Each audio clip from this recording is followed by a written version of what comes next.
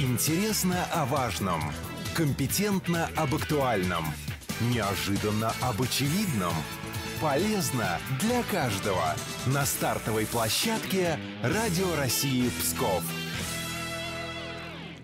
Доброе утро, уважаемые радиослушатели. Добро пожаловать на стартовую площадку на Радио России Псков и в студии я, Робин Александр. Уже несколько лет региональное представительство Всероссийского общественного движения «Волонтеры Победы» ведет активную работу в Псковской области. Этот год, конечно же, не стал исключением. О том, что нас ждет 9 мая, о новых традициях празднования Дня Победы и патриотическом волонтерстве сегодня поговорим в прямом эфире э, с руководителем Псковского регионального отделения «Волонтеры Победы» Екатериной Родиной. Екатерина, доброе утро. Доброе утро. А, друзья, напомню, что работаем мы в прямом эфире, поэтому телефон студии 62 80 30. Можете сюда звонить и, конечно, задавать свои интересующие вопросы, либо просто делиться мнением. Ну, а мы пока приступим. Э, Кать, давай вообще поподробнее поговорим, да, и сразу обозначим вообще э, про само движение волонтеры Победы. Какие основные задачи, цели у этой структуры? Ну, э... И что это вообще такое, да? Да, конечно, волонтеры Победы это всероссийское общественное движение. У него есть э, представительство и отделение во всех 85 регионах Российской Федерации и уже даже за рубежом во многих странах. А, волонтеры Победы занимаются патриотическим воспитанием подростков, молодежи, занимаются, э, безусловно, работой с ветеранами, да, то есть воспитывают именно уважение к памяти, уважение к людям старшего возраста. И все это, конечно, происходит через ряд мероприятий. Мы проводим совершенно разный да, спектр. Mm-hmm. То есть это федеральные акции, известные э, и псковичам, и жителям других регионов. Там «Бессмертный пол», «Георгиевская ленточка», 22 июня, «Свеча mm-hmm. памяти» и многие другие акции. И э, новые интерактивные форматы, квесты, интеллектуальные игры, все то, что может больше понравиться молодежи и привлечь молодежь к движению, к изучению истории и к участию уже в более серьезных патриотических мероприятиях. Ага, ну вот ты э, сказал, что еще за рубежом даже несколько точек открываются, да, что э, приятно. Есть представительство э, во всех э, субъектах Российской Федерации. Насколько я понимаю, что с 2015 года, да, э, движение началось. Когда наш регион присоединился? Наш регион присоединился в 2016 году, да, ну, хотя в 2015 году э, волонтеров Победы, как факт, да, они не существовали, то есть был угу. корпус 70-летия Победы, корпус, который сопровождал основные мероприятия, и уже из этого корпуса, а, ну, то есть вытекло. поняли, что собрали достаточно большое количество активных молодых людей, там, взрослых людей, серебряных волонтеров, и, ну, то есть, когда закончились мероприятия с этими же людьми, все равно нужно что-то делать, потому что они хотят работать, и они хотят продолжать продолжать вести эту работу. И вот так уже появились волонтеры Победы. Вот так уже появились волонтеры Победы, да, в шестнадцатом году а, начали они действовать на территории нашего региона. Везде ли удалось э, открыть э, вот, представительство по районам? Э, сейчас у нас представительство в 14 муниципалитетах, они называются местные отделения. Да, работаем mm-hmm. над тем, чтобы мы продолжали вот появляться такие сообщества волонтеров Победы и в других районах. А, ну, давай поговорим о том, а, чем же сейчас волонтеры Победы непосредственно перед 9 мая занимаются вот а, в нашем регионе? Какие основные моменты, основные акценты можно здесь выделить? Наверное, самое основное, что чем и волонтеры занимаются, и что интересно нашим слушателям, mm-hmm. да, нашим участникам мероприятия, это, конечно же, «Бессмертный полк», который в этом году, 9 мая, пройдет в онлайн-режиме, так же, как и в прошлом, да, из-за пандемии. Mm-hmm прошлый год нас многому действительно да, научил. У нас были такие вот первые шаги, первые пробы. В этом году это все уже более понятно. Э, есть сайт 2021.polkrf.ru. На этом сайте все желающие могут выложить информацию о своих воевавших да, родственниках, uh-huh. о своих солдатах.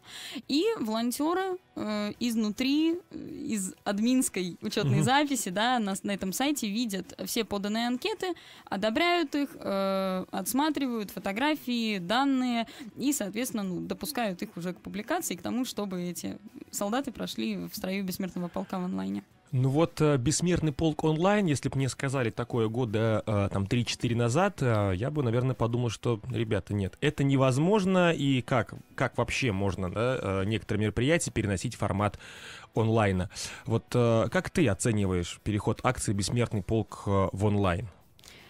ну, безусловно, это очень сложно, наверное, и для волонтеров, и для участников, потому что это такое вмешение, опять же, цифровых mm-hmm. технологий в патриотическое воспитание. Многие этого не воспринимают еще, да, до сих пор. Но мы двигаемся вперед, и, э, на мой взгляд, а, вот онлайн «Бессмертный полк» это было хорошим решением, особенно прошлого года, когда mm-hmm. мы поняли, что мы не выйдем на обычный «Бессмертный полк», а люди все равно хотели почтить память да, своих родных, которые погибли или вернулись живыми с Великой Отечественной войны. Поэтому это был хороший выход из сложившегося положения. А вот э, когда все-таки ситуация позволит нам э, выйти да, на классический стандарт, на офлайн э, бессмертный полк, как ты считаешь, вот такой формат, формат бессмертного полка в интернете, он останется, приживется, либо же как только позволит ситуация, сразу мы это дело отодвинем и пойдем уже к классическим бессмертным полкам? Нет, он все равно останется, и сайты, их несколько, да, вот эти mm-hmm. сайты бессмертного полка, они же существовали и до начала пандемии, то есть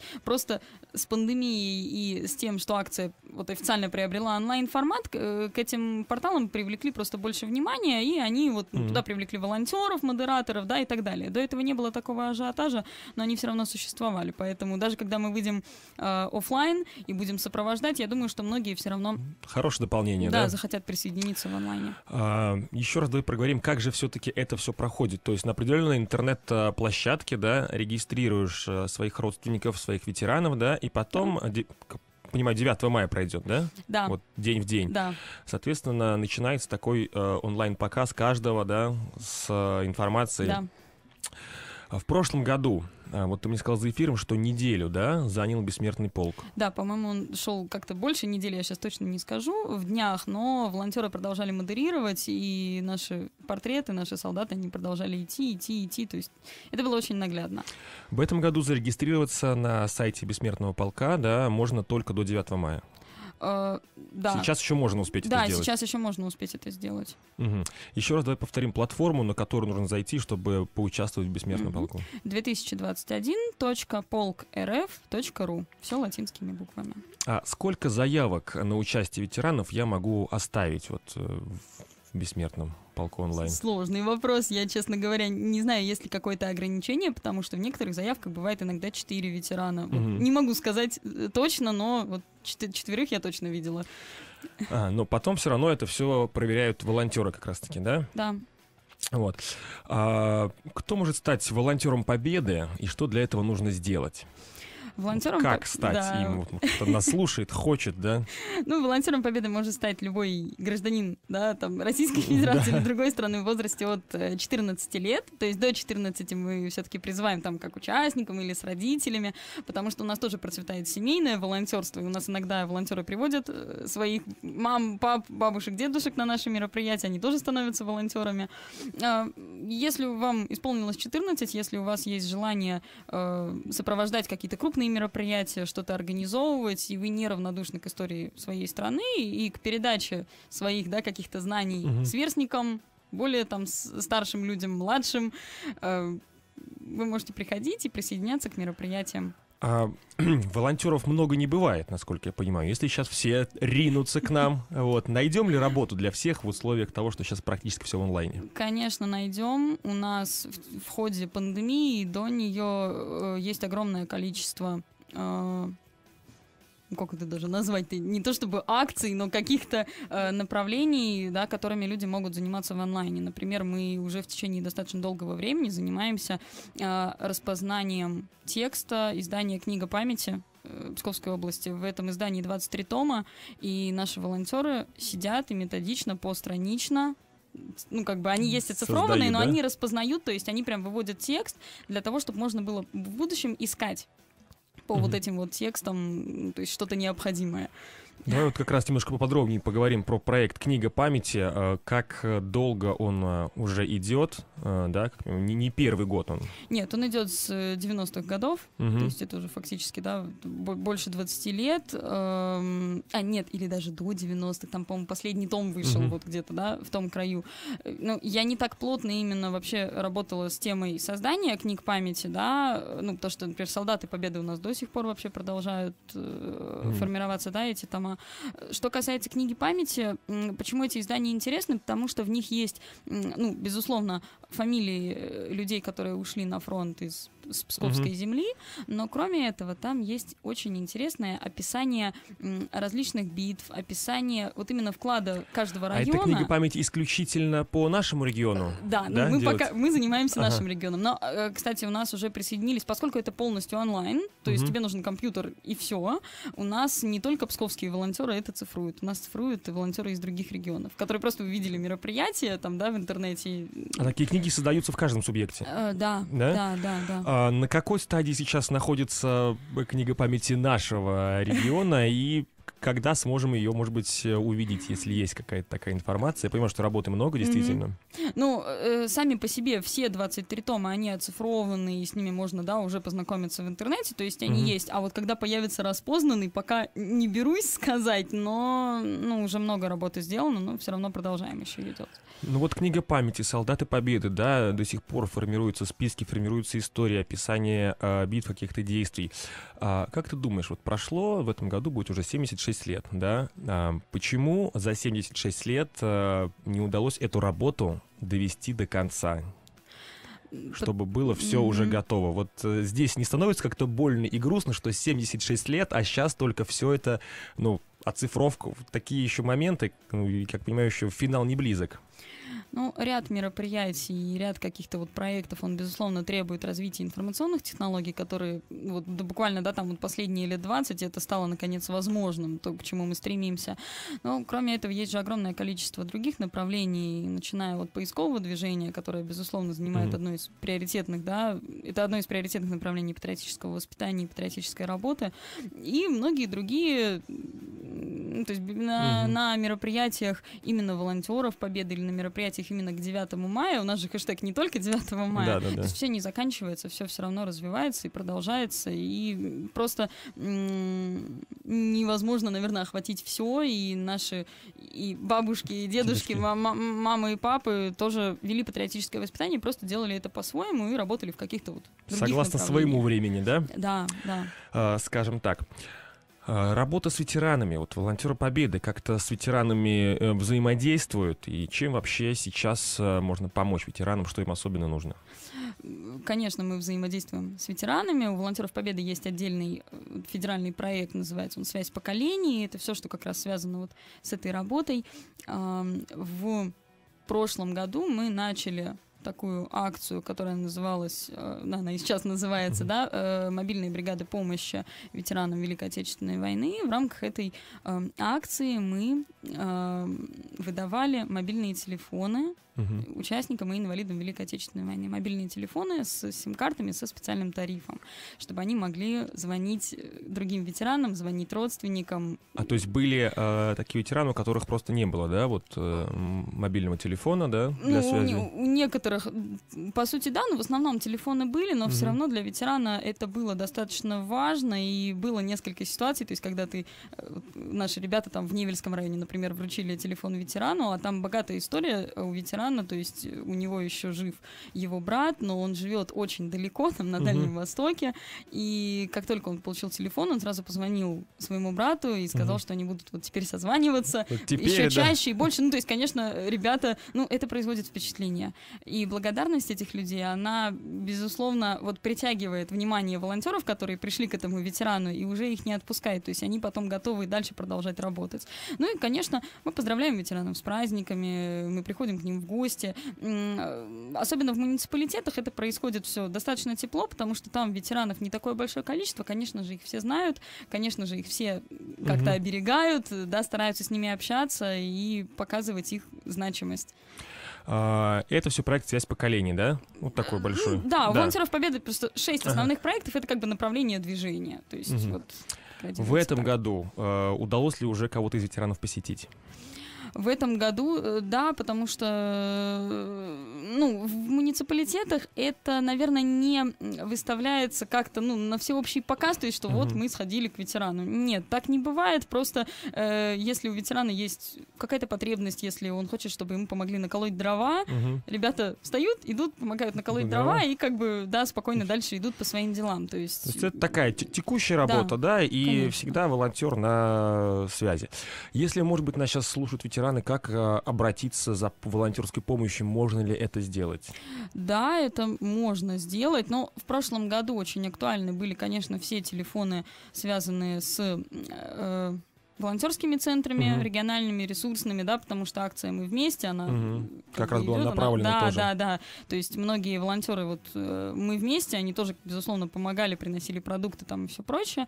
К нам тоже можно обратиться, э, можно там обратиться к местному руководителю волонтеров Победы в муниципалитете, если вы его знаете, угу. можно обратиться ко мне напрямую, э, можно обратиться в отделение партии Единая Россия, потому что они тоже задействованы в этой истории, то есть угу куда бы вы ни пошли, вы все равно да, придете. выйдете на нас. А, как а, ветераны на это реагируют? Ведь сейчас а, такое время, а, ну, как бы так сказать, помягче, что ветеранам нужно быть тоже еще и на чеку, потому что очень большое количество различных людей не, и не всегда с добрыми помыслами.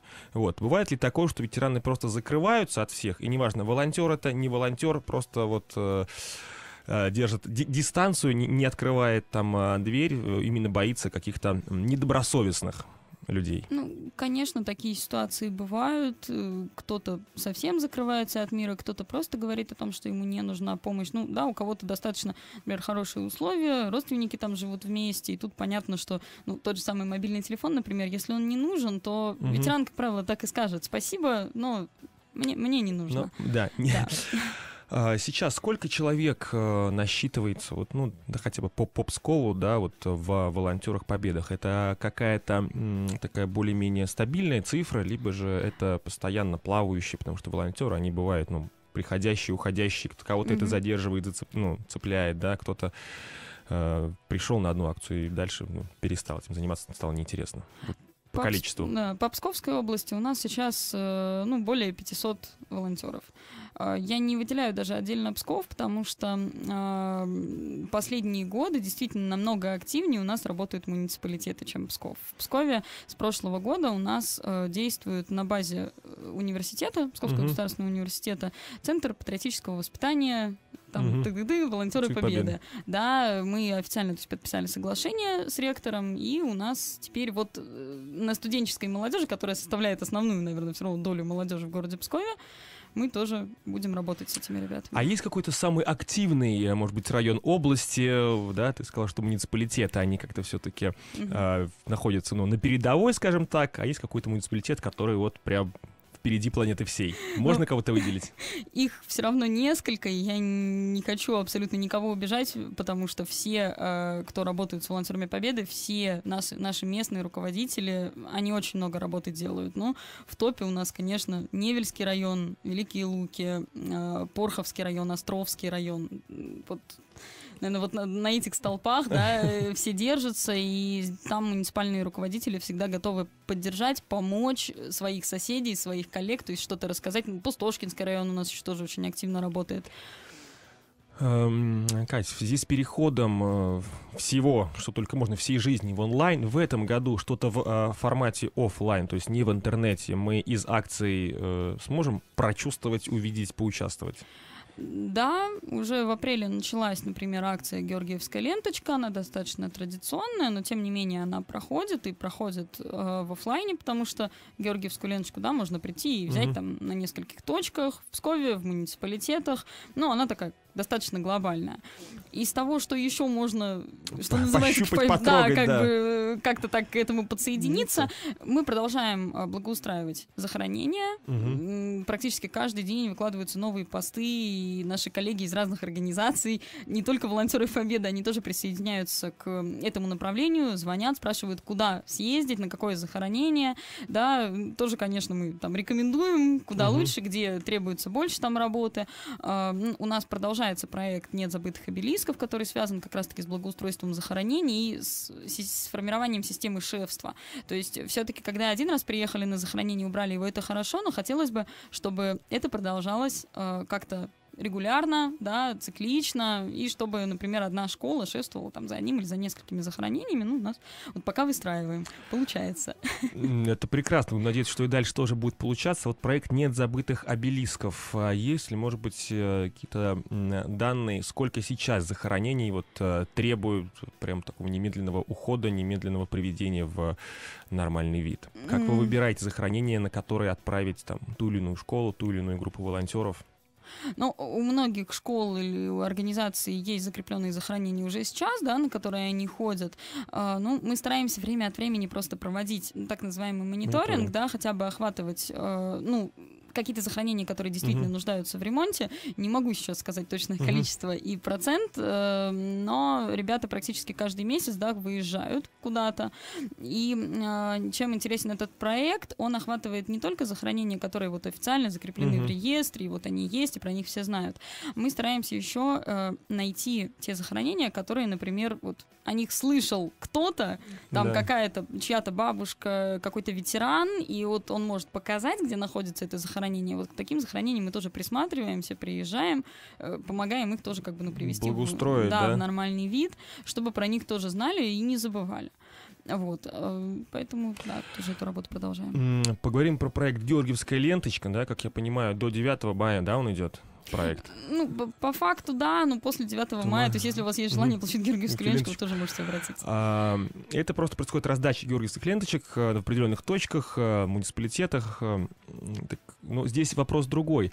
Последнее время, наблюдая за тем, как наши люди носят георгиевскую ленточку, здесь, ну, к сожалению, слезы даже наворачиваются, что это и сумки, и пару лет назад видел даже там на ошейнике у собаки георгиевская ленточка, кто-то на коляску детям ее привязывает. Mm-hmm. Все-таки с чем связана вот эта вот потеря культуры Э, того, как надо носить георгиевскую ленточку. И как можно ли это обратно вернуть э, и сказать, что георгиевская ленточка не должна висеть у вас на зеркале автомобиля, да, а исключительно должна висеть у вас на груди?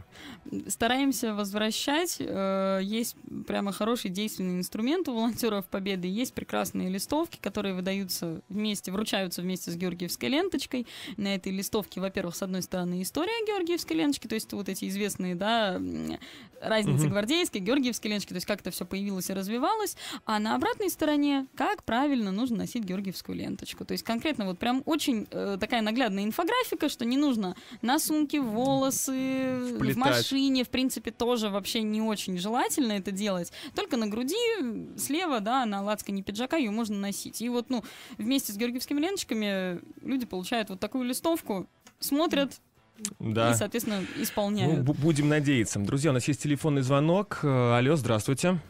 Да, добрый день, здравствуйте. Как вас зовут? Я звоню из Пустошки, меня зовут Владимир Алексеевич Шулгаев. Владимир Алексеевич, здравствуйте, здравствуйте. слушаем вас. Я хотел бы высказаться по поводу волонтеров из Пустошки. Так. Вот эту организацию как бы э, э, возглавляет Мадарьева Светлана Николаевна. А, и они с... устраивают акции. Например, была акция mm-hmm. устроена ко дню блокады, полного снятия Ленинграда блокады. Mm-hmm. Где было жители Пустошки могли попробовать и ознакомиться, что значит 125 грамм блокадного хлеба. Так. Но я бы хотел к этому еще добавить, что вот эти 125 грамм блокадного хлеба ленинградцы, например, используют как блокадный кулич. То есть в эти 125 грамм хлеба втыкали свечку. У кого была возможность, сил идти в храм Божий освещать. Ну, а кто не мог, конечно, как, например, моя мама, она тоже блокадница, пережила, у меня годовалый братик, умер от голода. Была дома, я освещал этот блокадный кулич слезами, можно так сказать. Я должен сказать, что проводятся всякие всевозможные акции. Например, по весне всегда волонтеры во главе со Светланой Николаевной выезжают к местам воинские захоронения, где идет покраска, уборка от мусора. То есть работа проводится, и очень хорошая работа. За что, конечно, волонтерам, молодым этим ребятам, которые делают благое дело – именно к Дню Победы также они все это Владимир Алексеевич. Большое им спасибо. Спасибо. Вот хотел бы высказать. Спасибо вам большое за э, звоночек. Ну и, конечно, э, тоже поздравляем вас и надеюсь, что дальше в пустошке работа прекращаться не будет. Спасибо большое, Владимир Алексеевич. Спасибо. Вот так вот, Екатерина, видите, из пустошки нам позвонили, не зря вы говорили, что тоже район находится у нас э, в передовых. В пустошке давно были? А, ну, самостоятельно, да. да. Я ча- чаще все-таки бываю в острове, ну, потому что все дороги через остров ведут. Все дороги ведут через остров. Но, тем не менее, пустошки передаем привет, и отдельный привет как ветеранам, так и а, волонтерам. А, говорили мы а, про различные акции, которые пройдут конкретно вот а, в этом да, году. Mm-hmm. Это, напомню, что «Бессмертный полк», он пройдет онлайн, можно зарегистрироваться на сайте 2021.polkrf.ru, сделать это еще можно. Также это Георгиевская ленточка, которая проходит в муниципалитетах. А, также какие еще вот акции пройдут? Можно я про Георгиевскую ленточку да, еще добавлю? Конечно, потому конечно. что у нас есть, э, ну, во-первых, Георгиевская ленточка уже стартовала достаточно успешно в Псковском угу. государственном университете, то есть там ребята на факультетах, на институтах, да, вручали ленты. А сейчас ленточку можно получить либо связавшись с нами, у нас офис на Конной 2, то есть предварительно договорившись, да, мы можем ленточку выдать. Угу. И можно в Псковской областной библиотеке. библиотеке. Точно так же получить ленточку, прийти и на секторе регистрации вам ее вручат. А, да. Так, друзья, это что касаемо по городу Пскову, да? Да. Вот. А в муниципалитетах там уже надо связываться с, э, региональным, с, с муниципальным руководителем, да. да. Э, ну, и, кроме того, в муниципалитетах, я думаю, эта информация тоже она достаточно хорошо распространена, угу. то, что люди ей интересуются. Так, еще по проектам поговорим. По, что еще? По, проектам. по акциям, по проектам. Что еще в, э, в этом году у нас uh, планируется, даже в формате онлайн? А, ну, даже в формате онлайн. А, я про офлайн. Угу. А, что у нас так. еще идет? У нас идет акция «Сад памяти». Эта акция появилась в прошлом году впервые. Было высажено более 27 миллионов деревьев. А, ну, собственно, акция заключается да, в том, чтобы высадить дерево, угу. в память, да, о погибших угу. в годы Великой Отечественной войны. Погибших было более 27 миллионов, и вот к этой угу. цифре в прошлом году и стремились, и ее достигли. Э, акция была достаточно резонансной, поэтому в этом году она продолжается. Так, сад памяти, он а, уже идет, как я понимаю, да? Сад памяти, он уже идет, да, тоже есть э, определенные где-то высадки в муниципалитетах, угу. высадки идут в Пскове. Э, у сада памяти тоже есть свой сайт, на котором можно эту карту высадок посмотреть и присоединиться к какой-то высадке вот, да, которая к вам, например, ближе к дому. И можно принять участие также индивидуально, тоже сад памяти дома, можно использовать хэштег и, например, высадить дерево У на себя. своем участке, да, угу. на даче, да, или как бы в частном доме. И, э, как я понимаю, ведется счет, да, сколько деревьев вот именно по этой акции. Да у нас посажено. А, в этом году сколько? Тоже планируется 27 а, миллионов выцелить? Ну, мы всегда ставим перед собой, да, глобальные цели, достаточно большие. Вот. насколько я э, по последним новостям помню, в Псковской области планируется высадить, более 5 тысяч деревьев в этом году. Так, сад память. А э, слышала еще про проект, который называется «Красная гвоздика». Да, конечно. Тоже онлайн он проходит, насколько я понимаю? Он проходит и онлайн, и офлайн, но в Псковской области онлайн. Угу. До этого, да, несколько лет мы там принимали участие в офлайн режиме. Но «Красная гвоздика» акция, она связана со сбором пожертвований угу. да, для, ветеранов. для ветеранов. То есть, соответственно, люди могут оставить ну, угу. там, некую сумму пожертвования, и потом на эти деньги для ветеранов закупаются там какие-то медицинские приборы, да, угу. или препараты. Продукты и Про... вещи первой необходимости, ну, да? Да, да. Ну, хотя э, э, в этой акции удается собрать достаточно э, крупные угу. суммы средств, поэтому угу. мы как раз можем позволить вот именно какую-то, например, медицинскую технику купить, которую а, даже просто так? так ветеран, да, не купит себе. Угу.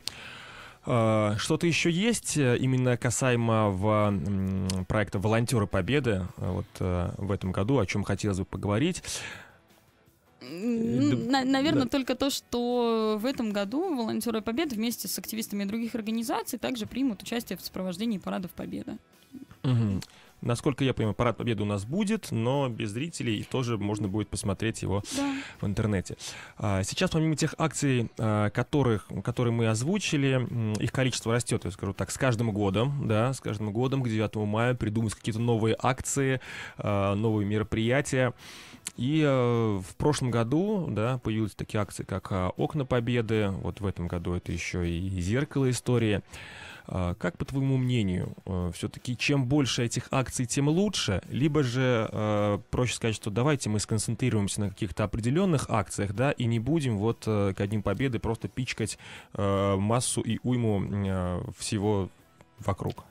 Я думаю, что нужно сохранять баланс и к таким акциям, которые, ну вот, просты в исполнении, например, те же самые окна победы, эм, наверное, это хорошо, когда вы воспитываете ребенка, когда угу. он маленький, когда, понятно, он еще там не может быть волонтером, там не может оценить, ну, трагизм, угу. да, Великой Отечественной войны, то привить какую-то, э, ну, такое восторженное отношение Фу. к этой дате, что вот мама, папа и я вместе собрались и украсили окна, а почему, а что, и дальше начинаются угу. вопросы. Наверное, да, это имеет смысл. Для взрослых людей, ну, и там подростков, для молодежи, для взрослых людей, э, в таких акциях лучше все-таки принимать участие, когда человек уже сформировал какое-то понимание патриотизма, то есть не просто, да, бездумно это сделал, там, украсил окна или, да, как бы что-то еще там а прибра- прибрался, там, у ветерана, да, около дома, но это вообще как бы более, да, сложная тема, но все-таки есть такая акция, да, «Полисадник Победы» она называется. Э, все-таки со смыслом. Я понял, я уже через себя пропустил, и вот, да, я могу сделать mm-hmm. что-то, какое-то действие, там, украсить окно, и уже понимаю для чего. А, вот э, если говорить конкретно про а, волонтеров Победы, вот подсказывают мне, что есть у нас а, еще один телефонный звоночек. Алло, здравствуйте. Алло, здравствуйте. Как вас зовут? Э, Данил Иван Петрович, Куинский район, деревня Жижица. Я хотел бы высказать свое мнение по отношению к вот той ленточки, которую называют Георгиевской, почему люди так ее носят. Так, Иван Петрович, слушаю Великая Отечественная война связана с красным флагом, с красным цветом. Если бы она была бы красная, понимаете, отношение было бы совершенно другое. Никаких георгиевцев в период Великой Отечественной войны уже не было. Вот. Если бы это были бы, назвали бы гвардейцами или ленточка славы, ну, красного цвета, угу. совершенно другое было бы отношение. Вот и все. Ну, Иван Петрович, спасибо вам большое за, за ваше мнение. Да, она, возможно, тоже имеет место быть. Поздравляю вас с наступающим праздником. Спасибо большое. Спасибо, Да. Ну вот э, Иван Петрович из деревни Жижицы предлагает поменять э, ленточку. Как ты считаешь, Кать? Нет, без, безусловно, это имеет место быть, и как бы это мнение, да, угу. человека, ну, да. да, мы его сейчас выслушали, э, но Георгиевская ленточка все-таки, она уже э, даже больше, чем там вот эти перипетии между угу. гвардейской ленточкой и Георгиевской ленточкой, то есть как это все правильно называть, она уже прижилась сама по себе и стала не только, э, ну вот, да, как бы символом там страданий, да. трагедий Великой Отечественной войны, но но и э, ну, каким-то объединяющим элементом. То есть э, в этой акции принимают участие все, и дети, и взрослые, и видно, как э, происходит вот это самое объединение вокруг ну, вот какого-то Но такого элемента. Все-таки большинство, я сказал бы так, э, георгиевские ленточки относятся э, даже с неким трепетом. Вот. Да. Э, вот так я скажу. Но, Иван Петрович, спасибо за мнение. Хотелось бы поговорить про э, волонтеров Победы. А чем они занимаются, э, если это не преддверие 9 мая? Понятно дело, 9 мая, наверное, основной э, такой рабочий момент, рабочий упор. А если это не 9 мая, то что происходит там? Они все разбегаются, распускаются, и работа не ведется, а перед 9 мая такие раз собрались. Вот как в течение года работа ведется? Конечно, работа ведется, и основные направления, которые даже вот в преддверии 9 мая мы о них уже поговорили, то есть это работа с ветеранами, она угу. ведется, она не прекращается никогда, потому что есть огромное количество праздников, есть огромное количество поводов, да, э, ну, прийти в гости, допустим, к ветерану с соблюдением санитарно-эпидемиологических норм. Обязательно. Да. Э, есть э, волонтеров Победы большое количество разных форматов, в том числе это интеллектуальные игры, это квесты. Вот эти форматы очень любят учащиеся школ, студенты, учащиеся колледжей. Эм, кто-то, мы организовываем квест, и к нам приходят. Иногда угу. мы выходим там вот в учебное заведение с этими квестами, там, интеллектуальными играми, которые называются «Риск». Это вот отдельный формат, да, волонтеров Победы. То есть это такая молодежная движуха, которая тоже не прекращается к разным датам, к разным событиям.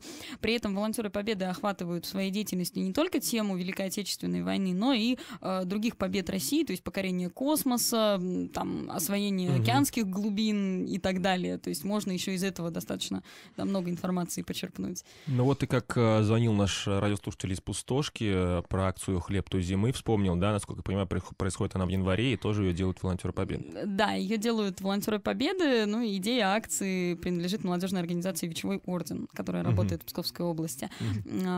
Акция «Хлеб той зимы» посвящена полному освобождению Ленинграда от немецкой фашистской блокады, и действительно в рамках этой акции у нас есть и возможность попробовать хлеб, да, испеченный по рецепту приближенному к блокадному, и возможность познакомиться, э, значит, принять участие в акции ленточка Ленинградской победы, да, угу. это как Георгиевская, только эта лента, она цвета колодки медали за оборону Ленинграда, зеленые оливковые цвета, тоже носится как и Георгиевская. Есть возможность познакомиться с полиграфической, с полиграфическими изданиями времен войны и взять их с собой. То есть мы такое На тоже память. практикуем эту историю, да, то есть это репринты газет, репринты партизанских угу. листовок 40-х годов, и уже теперь еще и репринты открыток, которые можно у нас на площадке полевой почты подписать, и мы их потом отправим отправим по адресу. То есть они выглядят как настоящие открытки 40-х годов. Мне это очень нравится и детям, и взрослым. То есть Конечно, да. Каждый вкладывает свой смысл. Достаточно интересно. А, Катя, про большое количество акций мы поговорили, поняли, что работа не прекращается а, целый год, да, 24 на 7, можно так сказать. А если какие-то истории вот запоминающиеся, да, или, может быть, какие-то, наоборот, волнительные моменты, связанные вот с волонтерской деятельностью? Что-то такое, что вот приходит на ум, чем бы хотел хотелось э, поделиться что-то интересное, запоминающееся, может быть, трогательное, волнительное. Угу. У нас однажды была история, но это перед 9 мая, э, как раз когда еще Бессмертный полк шел в очном угу. режиме, привычном нам. Э, у нас собралась, ну, к нам обратились люди, да, из других там регионов, э, семья. Семья достаточно большая, там несколько поколений, то есть от малышей там до э, пожилых людей. Значит, у них э, была история об их предке, который воевал в Великую Отечественную войну и погиб в районе Изборска, Старого Изборска. И, значит, у них была такая идея, которую мы им помогли воплотить в жизнь. Они практически всей своей семьей собрались и приехали в Псковскую область для того, чтобы побывать на могиле своего родственника. Их было больше 10 человек. И это были люди не из одного региона, а из разных регионов, включая там очень-очень дальние от угу. нас. То есть они в каждый по-своему, кто-то на машине, кто-то самолетом, они все добрались сюда, и такой вот большой единой семьей с портретом как бы, угу. бессмертного полка вот своего э, вот этого родственника. родственника, да, своего солдата. Вот мы с ними посетили эту могилу, мы с ними посетили Изборскую крепость, да, и вот у людей получился такой, получилась такая история, личная история перед 9 мая. И самое интересное, что они действительно привезли с собой э, молодежь, mm подростков, детей, то есть Смотреть, это передается как... в семье, да, в, из поколения в поколение. Вот эта история, и ну, как это, э, они хранят эту память. Угу. Это было, правда, очень интересно, очень Даже на расстоянии. Да, да даже на да. расстоянии. А, если говорить про непосредственно волонтеров, их э, с каждым годом становится конкретно волонтеров Победы а, больше или меньше. Объясню почему, что сейчас а, вообще волонтерское движение набирает э, какие-то колоссальные обороты. Да, у нас есть и волонтеры культуры, есть и волонтеры медики, эко-волонтерство, mm да, и многое-многое другое. Вот касаемо волонтеров Победы. Э, такое большое количество волонтерских направлений, оно как э, влияет? Что все, волонтеров становится меньше, они разбредаются по разным кучкам, либо же, наоборот, концентрируются? Они все-таки больше концентрируются. И ну, нужно понимать, что если мы говорим про Псковскую область, у нас регион небольшой, да, и, ну, как правило, э, один волонтер, он может быть и волонтером Победы, и волонтером культуры, э, и это не говорит о его, ну, какой-то некомпетентности, что он вот что везде и нигде. Там, да, да, да, да, да. Нет, он может себя полностью посвящать и одному, и второму, и третьему, особенно вот, ну, в условиях того, что многие акции, например, они похожи, да, они есть там и там, и там, и в них с удовольствием принимают участие и одни, и другие волонтеры. Поэтому, ну, на мой взгляд, э, все-таки потихонечку число волонтеров растет. Но, конечно, мы продолжаем, э, ну, как бороться с угу. такими остаточными стереотипами того, что волонтеры это вот люди, которых можно позвать, и они бесплатно поработают. Ну вот себя. есть такое, да, что волонтер это бесплатная рабочая сила. Да, вот. Все-таки я даже сам отчасти с этим не согласен. Вообще современный волонтер это. Давай вот так вот продолжим фразу. Современный волонтер это заинтересованный человек, который хочет развиваться и развивать вокруг себя пространство. А мотивация а, волонтера? Какова? Об этом мы много тоже говорили mm-hmm. в наших эфирах, но все-таки, чтобы мы э, разделяли э, бесплатную рабочую силу mm-hmm. от волонтерства. Давай вот проговорим про мотивацию. Мотивация. Ну, конечно, на поверхности это получение волонтерских часов, волонтерскую mm-hmm. книжку и получение да, каких-то грамот, то есть какое-то вот э, материальное, скажем так, отображение твоего труда. Mm-hmm. То есть вот потрудился, да, получил грамоту или получил mm-hmm. волонтерские часы. А, у нас с этой историей очень интересно, потому что у нас получилось перейти перейти на какую-то такую внутреннюю, личностную мотивацию, внутреннюю. Ну, объясню на примере, mm-hmm. да. Э, вот Псковское региональное отделение волонтеров Победы, оно отличается тем, что у нас в повестке мероприятий каждый год есть сопровождение, волонтерское сопровождение военно-исторических реконструкций. И не только в Псковской области. Псковской области это Островский район, деревня Холматка и Юли, да, прорыв линии Пантера. Но у нас были настолько заинтересованы вот этим мероприятием волонтеры, что организаторы э, фестиваля и вот этих серия военно-исторических mm-hmm. фестивалей «Забытый подвиг», она пригласила наших ребят на сопровождение других, своих реконструкций. Мы ездим на Невский пятачок, это Ленинградская область, и в Новгородскую область, вторая ударная армия. И вот наши ребята, э, ну, то есть там уже не, понятно, что они получат там свои волонтерские часы, то есть mm-hmm. это все понятно.